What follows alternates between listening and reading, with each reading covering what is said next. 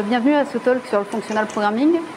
C'est un talk qui va être vraiment axé pour les débutants, pour les gens qui n'ont jamais fait de functional programming, je vais essayer de réexpliquer les concepts de base derrière le fonctionnel. Et je vais appliquer ça en Scala. Exceptionnellement, j'ai demandé à Christophe de m'accompagner, parce que c'est la dernière fois que je donne ce talk, donc j'ai voulu changer un peu euh, la façon de le faire. Et c'est lui qui sera le rat de laboratoire pour euh, tout ce qui est pair programming. C'est lui qui va faire les exercices. Du coup, allons-y. Donc qui je suis? Bonjour. Moi je m'appelle Charlotte Cavalier, je suis back-end développeur chez Equisense. Moi je fais de l'IoT, euh, des objets connectés pour l'équitation, pour les chevaux d'une manière générale. Si vous aimez les chevaux et que vous voulez essayer de connecter euh, vos chevaux, bah, nous on fait ça. Vous pouvez me suivre sur Twitter à CavalierCH ou euh, tout ce stalk est sur GitHub. rapidement pour moi, je suis Christophe Pond, je suis doctorant à l'Université de Perpignan, je fais une thèse sur et, euh, et pareil, sur euh,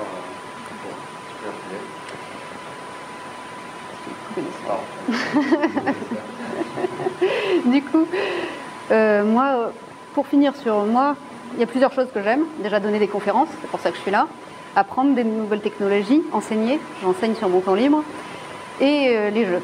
J'ai aussi des talks qui parlent des jeux et de comment les utiliser pour apprendre.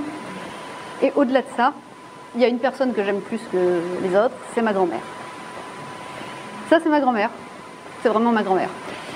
C'est une personne qui est assez exceptionnelle, qui est très gentille, qui est vraiment, euh, qui a la main sur le cœur. Quand je vais chez elle, c'est toujours le festin. Il y a toujours deux tonnes à manger. Tu peux confirmer. Je suis sûre que vous connaissez ça. elle est assez connectée pour une grand-mère. Elle a un compte Facebook. Je peux lui parler sur Skype. Euh, elle a un téléphone portable. Mais par contre, elle n'a pas de background scientifique. Donc des fois, elle me pose des questions qui m'embêtent, genre comment est-ce que je peux réparer l'imprimante? Je ne sais pas réparer l'imprimante. Ou alors, euh, qu'est-ce que je fais dans la vie? Et ça, j'ai toujours beaucoup de mal à lui expliquer ce que c'est que de l'IoT. Et c'est ce qui m'est arrivé la dernière fois. Elle m'a demandé sur quoi est-ce que tu es en train de travailler? Et j'étais en train de travailler sur ce talk. Je cherchais un bon sujet pour parler de functional programming. Je me suis dit, si j'arrive à lui expliquer elle, j'arriverai à l'expliquer à tout le monde. Donc je me suis lancée là-dedans. Je dit, bon ben, mamie, là je suis en train de préparer une conférence. c'est euh, expliquer la programmation fonctionnelle. La programmation fonctionnelle, c'est quoi? C'est un paradigme, une façon d'écrire des programmes qui est assez âgé en fait. Ça apparaît dans les années 70. Ça a été très très en vogue à ce moment-là parce que ça permet d'avoir des programmes qui sont démontrables, c'est très mathématiquement formel, mais par contre, ça a été oublié derrière parce que les langages qui y sont associés ont été assez complexes, notamment Haskell, qui est le plus connu. Et du coup, pendant 30 ans, on a laissé ça un peu de côté. Et pourtant, on commence à en reparler aujourd'hui. Et une question que la première question que vous posez, c'est euh, si c'est mieux et que c'est compliqué. Euh, Pourquoi je voulais parler de ça, Mais En fait, si je veux parler de ça, c'est parce que je pense que le fonctionnel, c'est quelque chose qui est très euh, dans l'air du temps. Aujourd'hui, on a des problématiques très actuelles, on va essayer de paralléliser, on va essayer de scaler, et, le fonctionnel va nous permettre de faire ça proprement. Là, j'avais fait une erreur. Elle m'a tout de suite demandé euh, qu'est-ce que c'est la concurrence et la scalabilité? Donc j'essaie de lui expliquer en termes qu'elle pourrait comprendre. Donc j'ai regardé ce qu'elle était en train de faire. Elle était en train de me préparer euh, une tarte qu'on prépare chez nous qui s'appelle la coca. Et du coup, je lui ai dit, ben voilà, tu vois là tout de suite, tu es en train de préparer ton repas. Tu fais plein de choses en même temps. Tu as ta poêle sur le four, ton four qui chauffe, tu coupes tes tomates, tu fais cuire tes oignons. Ben nous, c'est ce qu'on appelle la concurrence. Tout ça, on va faire des choses en même temps, qui vont utiliser les mêmes ressources et qui vont éviter de trop se marcher sur les pieds. À côté, la scalabilité, c'est le moment où tu vas poser ta tarte sur la table et on pourra tous se servir sans attendre que les autres soient prêts. Ça, c'est ce que nous on appelle la scalabilité, mettre les choses au service de tout le monde en même temps. Là, elle a dit, mais attends, ça, faire des trucs en même temps, ça fait longtemps que vous savez le faire en informatique. Moi, quand je m'assois sur mon ordinateur, je peux être sur Facebook, je peux parler à ton oncle sur Skype et je peux jouer aux cartes en même temps. Et ça marche déjà. Alors oui, mais ça marche beaucoup moins bien au sein d'une même application. Tout ça, ça devient très compliqué quand on le met dans un même programme. Le problème, c'est les effets de bord. Là, si pendant que ta tarte est au four, moi j'ai faim et je vais mettre une pizza dans le four et que je monte le four à 200 degrés pour me cuire ma part de pizza, bah, quand tu vas revenir, ta tarte sera brûlée. Il y aura eu un effet de bord. Quelque chose sera intervenu sur ton système et aura changé ce que tu étais en train de faire. Ça a l'air bidon comme ça, mais c'est ce que nous on fait tout le temps. On a des algorithmes où on sait qu'ils marchent, on a des choses où on sait qu'elles fonctionnent, et on fait des effets de bord. En modifiant des variables, en modifiant des structures de données, on change des objets, on va affecter des valeurs, ou renvoyer des exceptions. Sur le, on va écrire sur la sortie standard. Moi actuellement j'ai un problème dans ma vie de tous les jours, dans mon projet de performance. Je sais très bien que c'est la sortie standard, mon algorithme est performant, mais je crache sur la sortie standard, donc ça me fait de la latence. Ou alors lire et écrire dans des fichiers, ou encore afficher des choses. Tout ça, ça implique des effets de bord. Ça change le comportement qu'on voudrait. Et c'est là où on peut utiliser le fonctionnel. Le fonctionnel, il a une force, c'est qu'il ne produit pas, en théorie, l'effet de bord. Grâce à la notion de pure fonction. La notion de pure fonction, qu'est-ce que c'est? C'est de dire qu'une fonction, elle doit se comporter comme une fonction mathématique. Quand elle lui passe les mêmes paramètres, elle aura toujours le même résultat. Par exemple, vous faites une opération basique, 2 plus 2, ça fera toujours 4. Si ça fait 5, on a un problème. Et surtout, une fonction ne doit jamais changer son environnement. Une fonction a toujours le même comportement, quoi qu'il arrive. Alors, là, je vous donne un exemple, mais je vais vous donner un exemple concret, et c'est là où tu vas intervenir. Si vous voulez retrouver ces exercices, tous ces exercices sont en ligne sur la plateforme tech.io. J'ai une grande partie des exercices sont là. Attends, ils prennent en photo. Ah,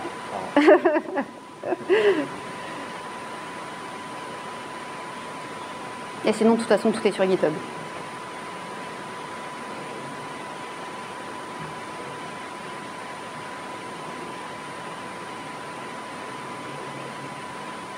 Ah, ça va être bon. Allez, allons-y. Donc là, je t'ai écrit un bout de programme. C'est pure fonction, voilà, c'est ça. Alors, c'est un programme un peu basique, on va dire, parce que le but, c'est vraiment de montrer un gros effet de bord qu'on ne peut pas rater. Vas-y, tu peux exécuter les tests, voir ce qui va se passer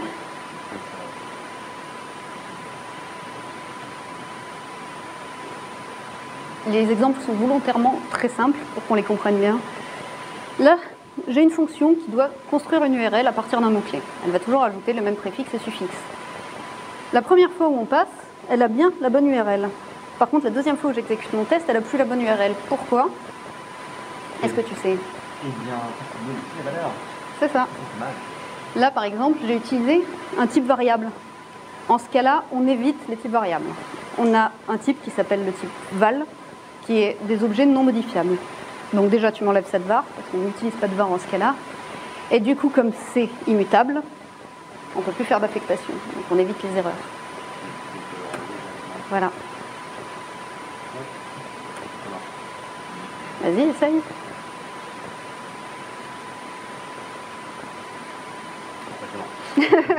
Gros niveau de code.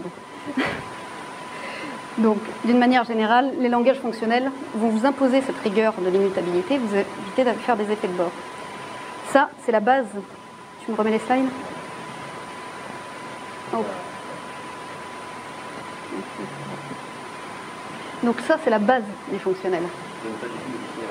C'est ça. Si tu ne modifies pas les variables, tu as un programme qui ne fait rien du tout, qui ne change rien à son environnement. Bah si, on va modifier des choses. Parce qu'un programme qui fait rien, ça fait rien du tout. C'est pas ça qu'on veut. Mais par contre, on va le faire proprement. On modifiera les choses soit avec des objets qui nous permettent de le faire, on a des types d'objets qui vont nous permettre de modifier les choses proprement, soit on va le faire dans des couches propres. Notre code métier, lui, va rester immutable. Pourquoi? Parce que c'est plus facile à maintenir.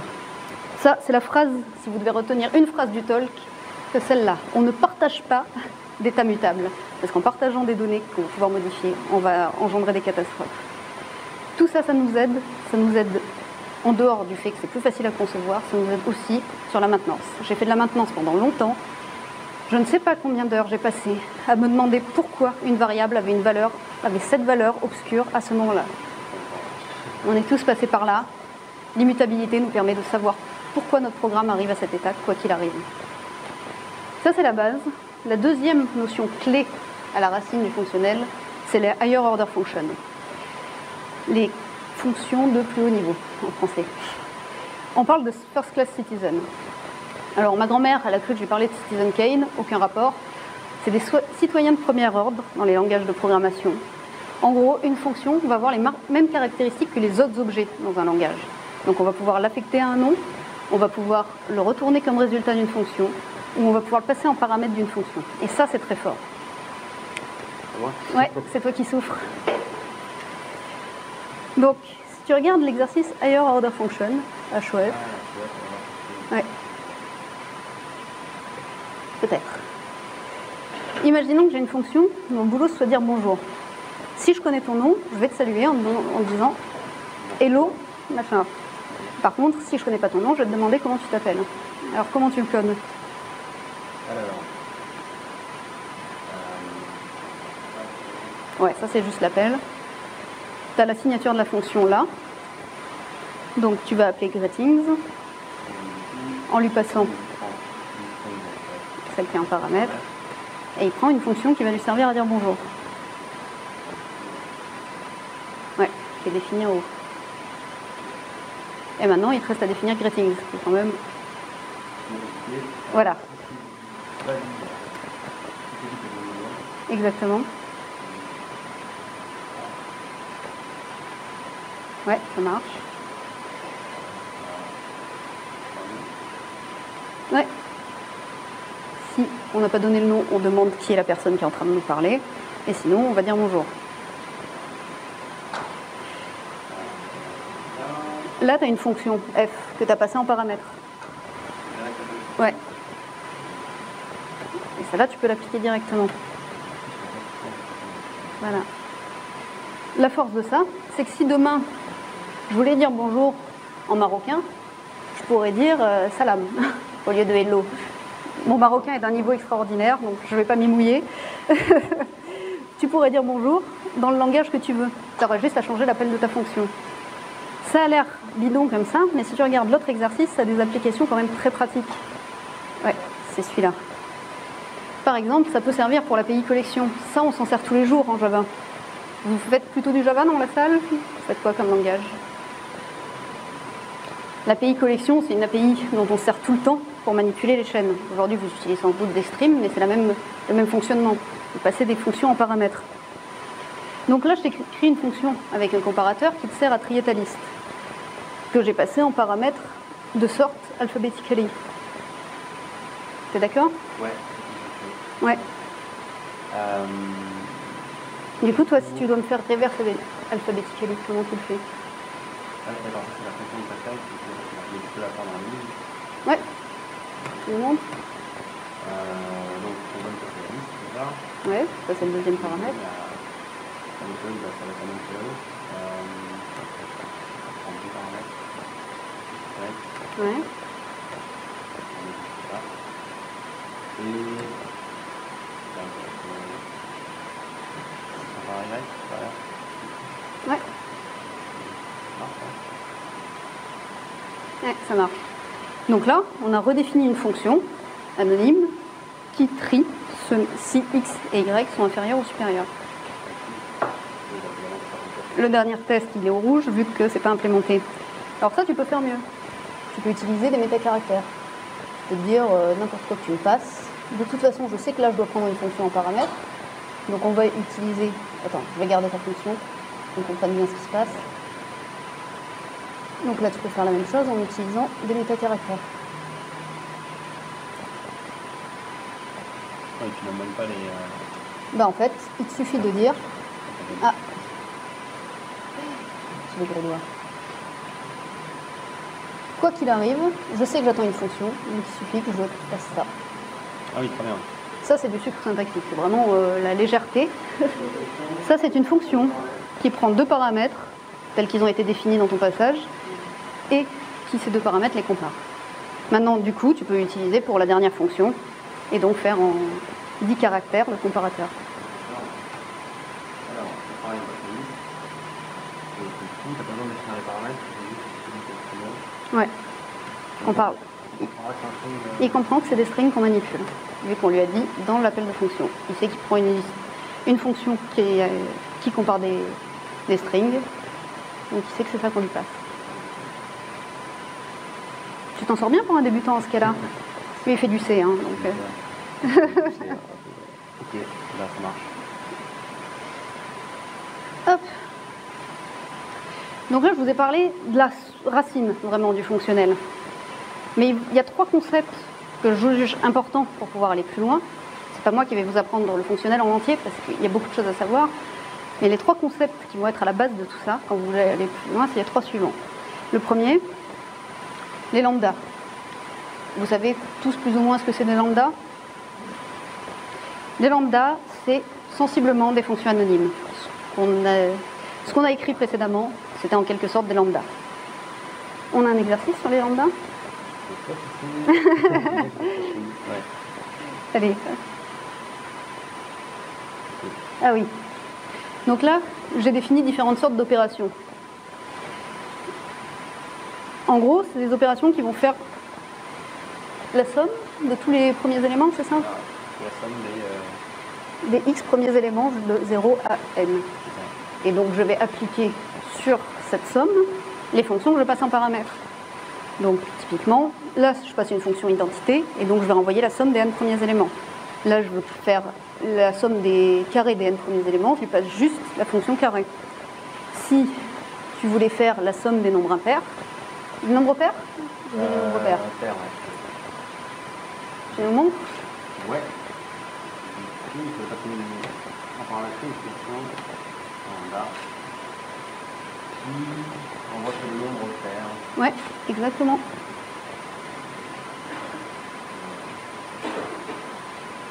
Faut que tu vérifies si x Ah oui, un Ouais, Il y a pas de- on n'a pas de ternaire.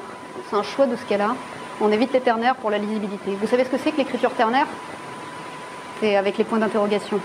On évite. C'est le choix de l'inventeur du langage. Il trouvait que c'était peu lisible, donc il préfère faire des inlines sur des if.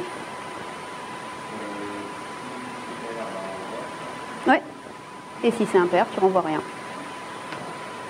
Ouais.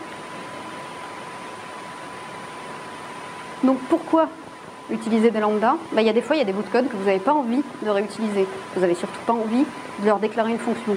Là, typiquement, x fois x, on n'a pas besoin de le déclarer. C'est très, lisible et on n'a pas besoin de le stocker en mémoire. Ça n'a aucun apport. Donc tous ces bouts de code, on peut les passer comme des lambdas. Deuxième notion clé, la récursion. Ça, on en a tous fait à l'école. Les fonctions qui s'appellent elles-mêmes, qui s'appellent elles-mêmes, qui s'appellent elles-mêmes. Ça te rappelle des choses? C'est ça. On a passé des heures à chercher pourquoi notre boucle s'arrêtait pas. Ce qui change dans les langages fonctionnels, c'est qu'en général, ils vous proposent une façon de faire de la récursion qu'on appelle la tail recursion. C'est-à-dire que ça va être beaucoup plus performant en mémoire. La tail recursion, aujourd'hui, quand vous faites une récursion, ce que vous faites, c'est que vous faites, tant que vous n'êtes pas arrivé à votre condition d'arrêt, vous diminuez la complexité du calcul et vous gardez en mémoire toutes les étapes intermédiaires. Quand vous arrivez à la condition d'arrêt, vous revenez en arrière et vous refaites les calculs avec les passages intermédiaires. En tail recursion, on fait le calcul en disant il y aura un résultat lors de la condition d'arrêt et quand j'aurai tout, je concatène. Je vous fais un exemple plus parlant. Si je veux calculer 4 factoriels, si je le fais en récursion normale, je vais d'abord faire 4, je vais stocker 4 en mémoire et après je vais faire 3 factoriels. Étape 2, je vais garder 4 que j'ai gardé au premier rang, ensuite 3 que je vais garder en mémoire, et je vais faire 2 factoriels, etc. etc. J'arrive au 1 qui est ma condition d'arrêt. Qu'est-ce que je fais? Je remonte la pile. Donc je vais faire 4 fois 3 fois 2, et je vais calculer à chaque étape ce qui restait en mémoire. Ça, c'est très très lourd en mémoire. Tandis que quand on fait en tail recursion, ce qu'on dit, c'est OK, tu fais 4 fois 1 à l'étape 4, et tu descends d'un rang. On sait que quand ça arrivera à la condition d'arrêt, on aura déjà le résultat. Il ne nous restera plus qu'à faire 12 fois 2. Euh, je vous montre un bout de code qui montre ça. Ce qu'on fait en général pour faire de la tail recursion, c'est qu'on utilise des accumulateurs. Ouais. C'est la deuxième. J'ai imaginé une fonction qui construirait une liste à partir des éléments de Fibonacci. Au fur et à mesure, je vais tout mettre dans ma liste, les éléments, les n premiers éléments de la liste de Fibonacci. Donc, ce que je vais faire, c'est que je vais créer une fonction interne qui va être un accumulateur pour tous les éléments. Je vais garder en mémoire ma liste préconstruite pour que quand j'arrive à ma condition d'arrêt, qui est la taille de ma liste et le nombre d'éléments que je souhaitais avoir, dans ce cas-là, je renvoie ce que j'avais en accumulateur. Je disais? C'est ça. Du coup, quand on arrive à la condition d'arrêt, on a juste à la retourner. On utilise beaucoup moins de mémoire. Donc tout ce qu'on a à faire, c'est créer une fonction interne et l'initialiser au cas de départ. Troisième outil intéressant, le currying, la curification en français. Ça n'a aucun rapport avec la bouffe indienne. Hein. Le curification, je peux vous l'expliquer quand vous expliquant ce que c'est des applications partielles. Une application partielle, c'est on a une fonction qui a un certain nombre de paramètres et on sait qu'on aura un paramètre, on sait déjà ce qu'il vaut. Donc ça ne sert à rien de le repasser à chaque étape. Par exemple, là j'ai pris l'exemple d'une fonction qui ajouterait une colonne à une base de données. Je peux, à chaque étape, passer la connexion à ma base de données. Mais ma connexion, elle ne va pas changer. J'irai toujours taper la même base de données. Dans ce cas-là, j'ai juste à dire, OK, la base de données, je la connais. Donc je vais juste passer la colonne et son type. Je n'ai pas besoin de m'embêter à repasser la connexion à chaque fois. La purification, c'est ça poussé à l'extrême. C'est-à-dire que pour chaque paramètre, je peux définir une fonction qui prend un paramètre de moins, de façon à ce que toutes les fonctions prennent un paramètre. Ça, c'est un exemple d'une différence entre une application partielle et de la purification. Purification, on passe n, n appels de fonctions de façon à avoir n appels avec un paramètre, quand l'application partielle passe un nombre inférieur de paramètres. J'ai un exemple là-dessus Ouais. Est-ce que tu as une idée? Tu veux le faire? Ouais, Est-ce que vous voyez là en bas Pas grand-chose? Peut-être tu peux le mettre en plein écran. Double clic? Ouais. Du coup, imaginons une fonction basique qui fasse une addition. Comment tu définis une addition en ce cas-là Ouais. Ouais.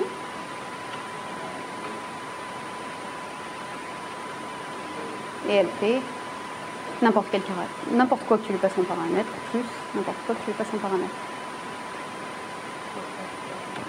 Ouais, avec les métacaractères, ça marche très bien. Donc là, on a défini une fonction qui fait une addition. Cette fonction, si on veut la purifier, donc ça fait bien 7. Hein. Gros niveau. Donc maintenant, si tu veux purifier ta fonction, bah, tu peux appliquer .curry dessus.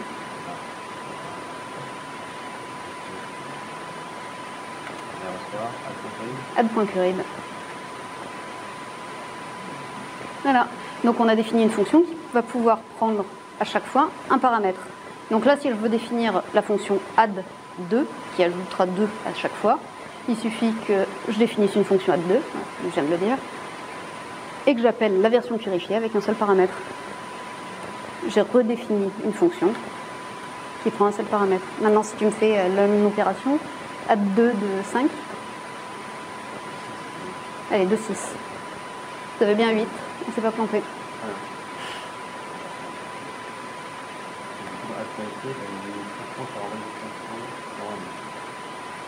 C'est ça, j'ai défini add c'est mes appels successifs à un seul paramètre. Par contre, il faut que tu parles plus fort, je pense qu'ils t'entendent pas. Ouais.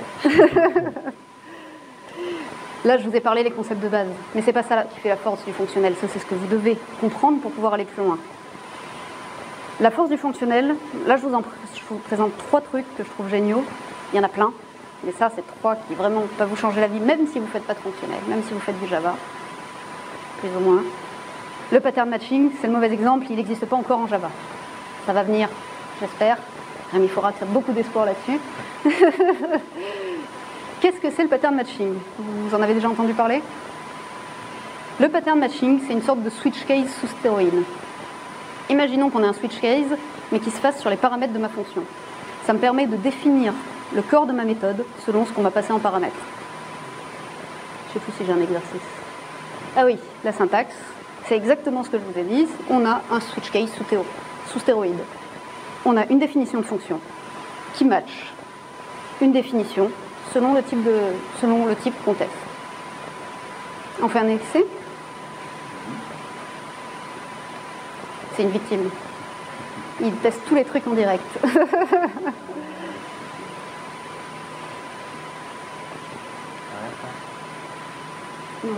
Ouais, on peut faire si tu veux. hein. Allez, imaginons qu'on ait une fonction qui veut calculer l'aire d'une figure. Dans la plupart des cas, ça va être x ou y, mais on a un cas moisi qui est le cas du cercle. Non. Rappelle-moi. Euh, De euh, pi Non, c'est De pierre carré.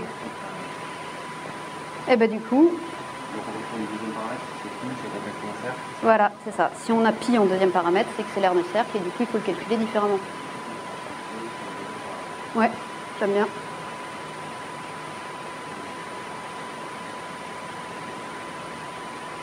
Donc, K. Ouais. Tu peux regarder la syntaxe. hein, si tu as envie.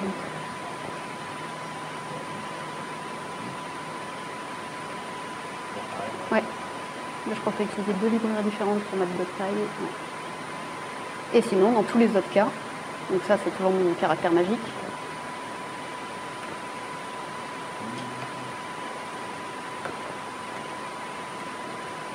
Et dans ce cas-là, c'est x fois y. Vas-y, teste. Je fais des tests pour tout. Normalement, si on ne s'est pas trompé, ça doit marcher.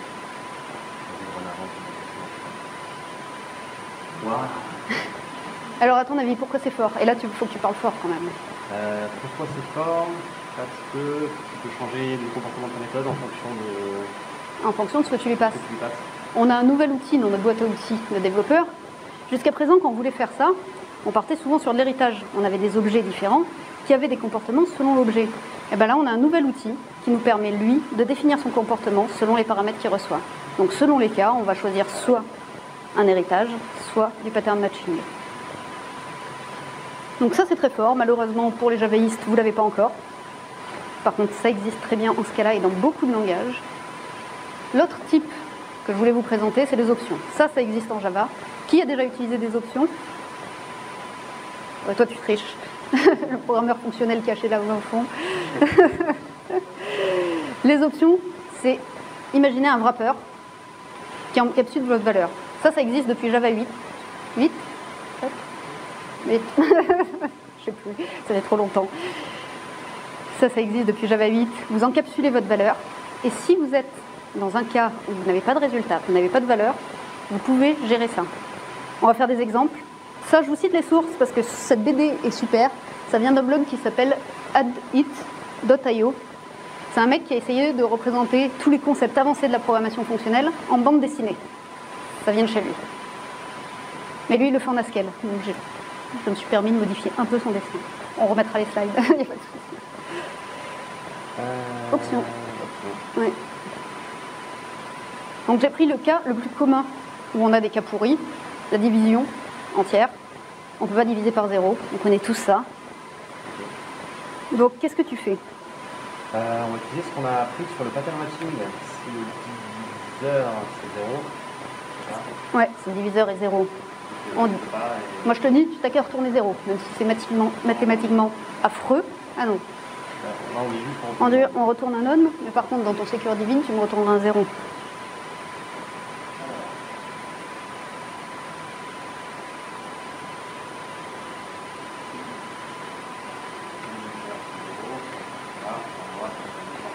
Ouais. D'autre.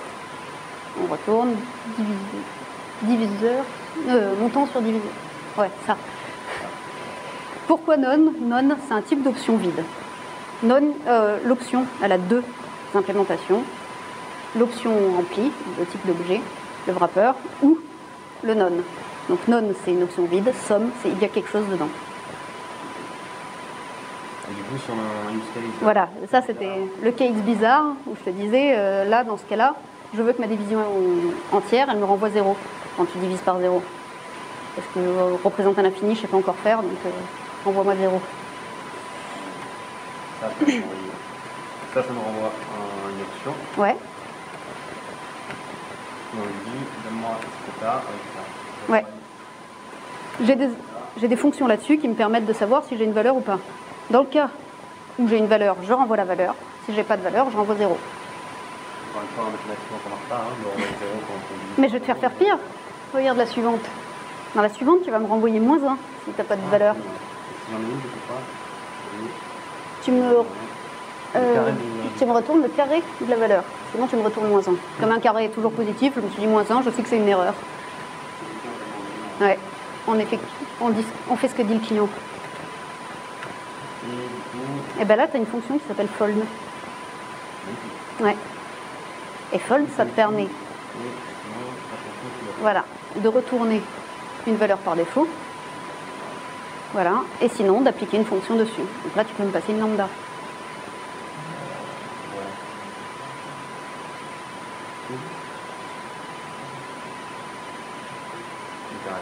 Ouais. Un problème. Ah. Euh, moins 1.0. Ouais. Eh, c'est toi qui fais de la recherche sur les nombres flottants. Hein.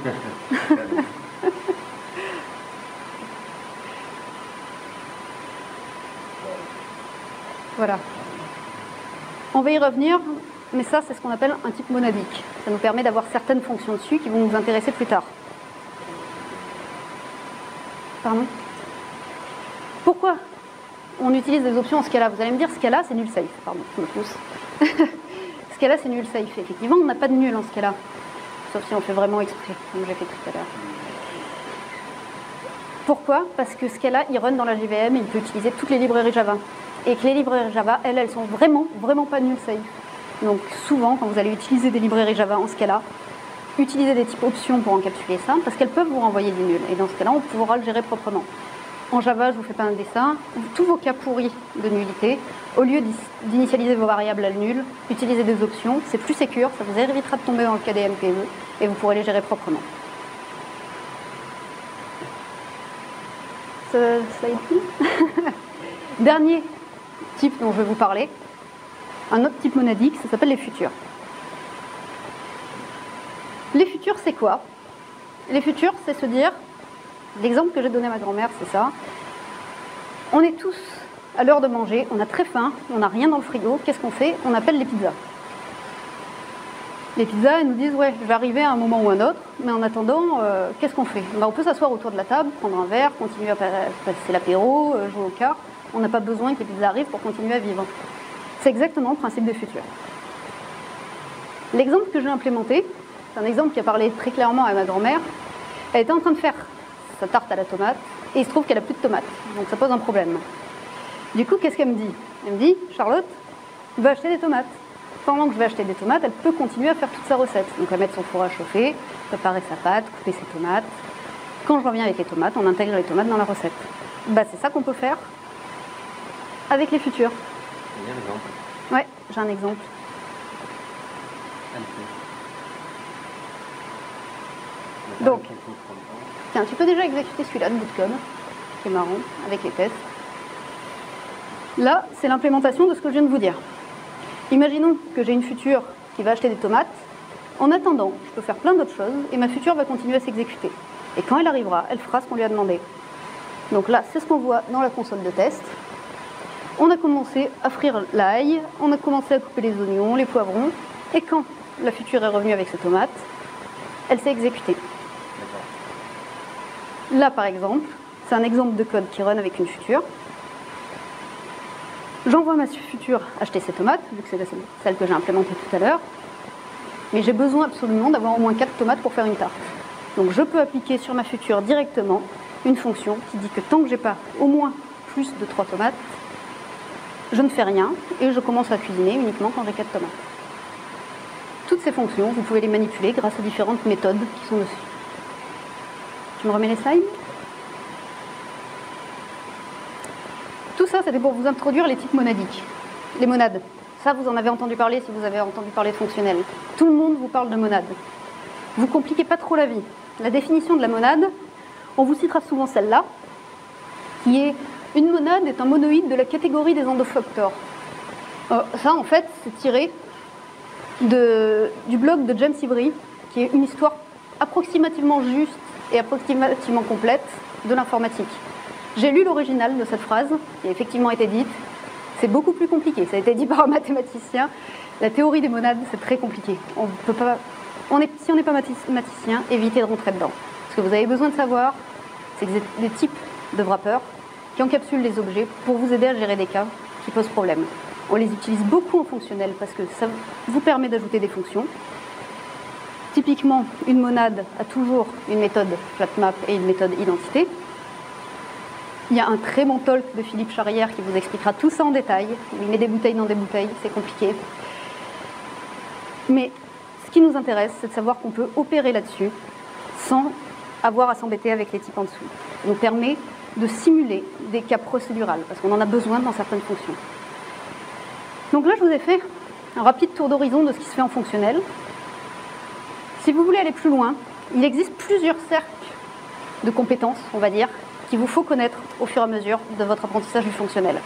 Cette slide, je volée à Julien Lafont, avec son accord euh, gentil, qui est notre euh, responsable du meet-up fonctionnel de Montpellier. Alors, lui, il définit ça comme ça.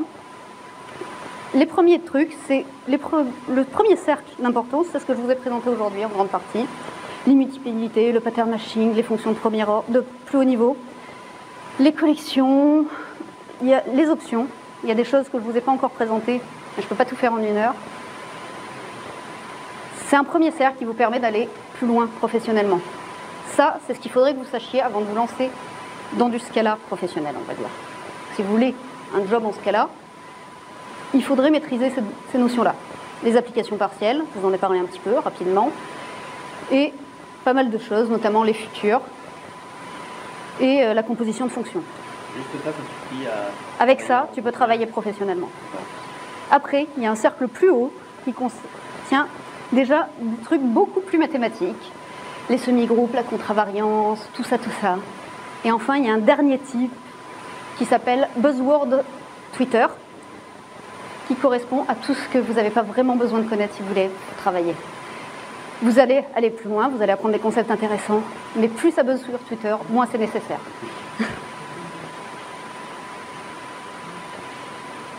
du coup, si vous voulez aller apprendre plus loin, je vous conseille, parce que Scala, c'est vraiment un langage qui est très intéressant. Le fonctionnel, c'est un paradigme qui nous aide beaucoup. Et si vous aimez la data, le Scala, c'est vraiment le langage qui fait beaucoup de choses en data. Je vous conseille le très bon cours en ligne gratuit de Martin Oderski, qui est le créateur de Scala, qui a fait une, 5 euh, cours sur Coursera sur son langage. ça va loin. Il est très basé sur les concepts, donc vous allez aller très loin dans la théorie. Si vous voulez mettre plus rapidement les mains dans le code, le Scala Tour.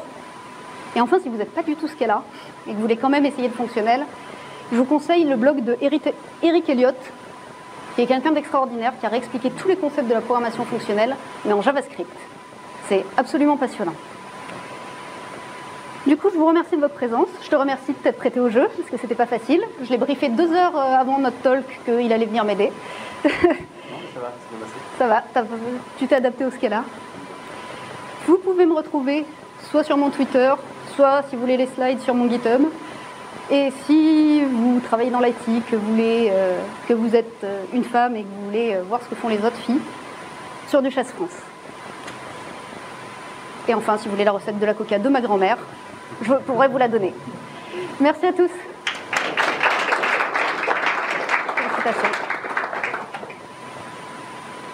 Vous avez des questions? Bon, ben merci.